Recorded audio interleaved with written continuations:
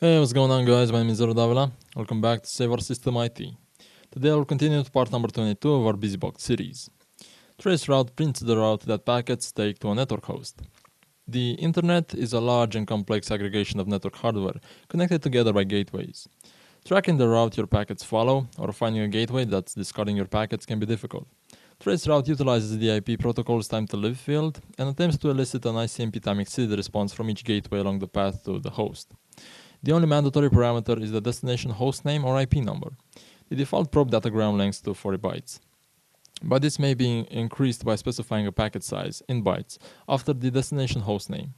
Traceroute attempts to trace the route and IP packet with follow to some internet host by launching probe packets with a small TTL, or time to live, and then listening for an ICMP time exceeded reply from a gateway. It starts its probes with a time to live of 1 and increases this by, uh, by 1 until it gets an ICMP port unreachable or TCP reset, which means we got to the host or hit a max, which defaults to 30 hops. Three probes by default are sent at each time to live setting and a line is printed showing the TTL, address of the gateway and round trip time of each probe. The address can be followed by additional information when requested. If the probe answers uh, come from a different gateway, uh, from different gateways, the address of each corresponding system will be printed. If there is no response within 5.0 seconds, which is the default, an asterisk is printed for that probe. After the trip time, some additional annotation can be printed, like exclamation mark capital H, exclamation mark capital N, or exclamation mark capital P, which is a host, network, or protocol unreachable. Uh, exclamation mark capital S, source route failed. The same with capital F, fragmentation needed. Uh, capital X, communication administratively prohibited. Exclamation mark capital V, host precedence violation. Capital C, precedence cutoff in effect. Or exclamation mark num, uh, a number, which is the IP, ICMP unreachable code for that number. If almost all the probes result in uh, some kind of unreachable, traceroute will give up and exit. You don't want the destination host to process the UDP probe packets, so the destination port is set to an unlikely value. You can change it with the hyphen P flag.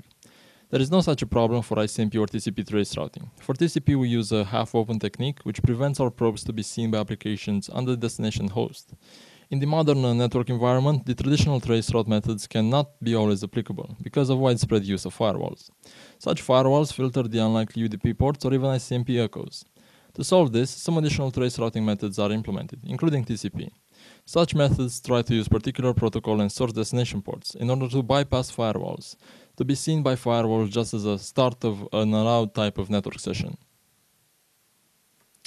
Everything mentioned previously applies to the traceroute 6 command, with one small difference.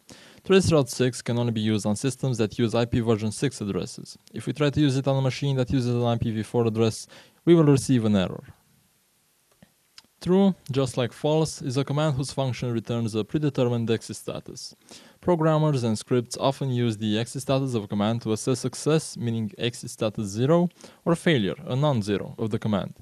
The true and false commands represent the logical values of command success because true returns 0 and false returns 1.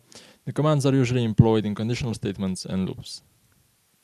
The tty command is used for controlling a terminal. The file slash dev slash tty is a character file with major number 5 and minor number 0, usually of mode 0666 and owner group root.tty. It is a synonym for the controlling terminal of a process, if any. In addition to the IOCTL request supported by the device that TTY refers to, the IOCTL request uh, TIOCNO TTY is supported. TIOCNO TTY detaches the calling process from its controlling terminal. If the process is the session leader, then SIGHUP and SIGCONT signals are sent to the foreground processes group, and all processes in that current session lose their controlling TTY. This IOCTL call works only if on a file descriptors connected to the slash dev slash TTY. It is used by daemon processes when they are invoked by a user at a terminal. The process attempts to open slash dev slash TTY. If the open succeeds, it detaches itself from the terminal by using TIOCNO TTY, while if the open fails, it's obviously not attached to a terminal and does not need to detach itself. UDHCPC is a very small DHCP client program geared towards embedded systems. The letters are an abbreviation for Micro DHCP Client. The program tries to be fully functional and RFC 2131 compliant. The program accepts all options on the command line and calls external scripts to handle the configuration of interfaces. UDHCPD is a micro DHCP server. The Dynamic Host Configuration Protocol DHCP is a standardized network protocol used on Internet Protocol networks, IP networks. The DHCP is controlled by a DHCP server that dynamically distributes network configuration parameters, such as IP addresses for interfaces and services. A router or a residential gateway can be enabled to act as a DHCP server. A DHCP server enables computers to request IP addresses and network parameters automatically, reducing the need for a network administrator or a user to configure these settings manually. In the absence of a DHCP server, each computer or other device uh, on the network, like a printer, needs to be statically, meaning that manually, assigned to an IP address. The umount command detaches the mentioned file systems from the file hierarchy. A file system is specified by giving the directory where it has been mounted. Giving the special device on which the file system lives may also work, but is obsolete, mainly because it will fail in case this device was mounted on more than one directory.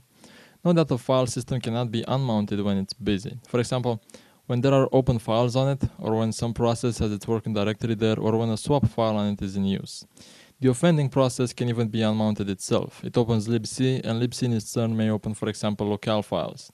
A lazy unmount avoids this problem. The uname command within Linux allows you to view system information about your Linux environment. The uname command on its own isn't particularly useful. Uh, you can try it for yourself. Open up a terminal window and type the following command. Uname, that's all. The chances are that the only word that is returned is Linux. Unless you're using one of those distributions deliberately designed to look like other operating systems, such as Zorin, Q4OS, or Chromixium, you probably already knew that.